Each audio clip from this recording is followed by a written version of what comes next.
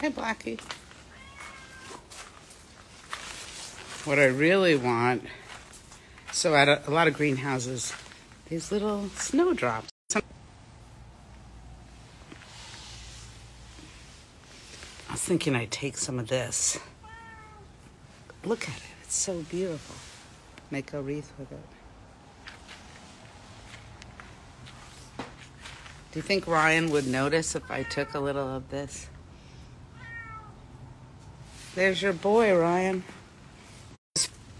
I just fed Blackie. He's inside. I'm just harvesting the rest of the saffron. Hi, Ryan. Boy, your plants look beautiful. Ryan McAllister. These are his babies at Martha Stewart's. Look how beautiful they all look.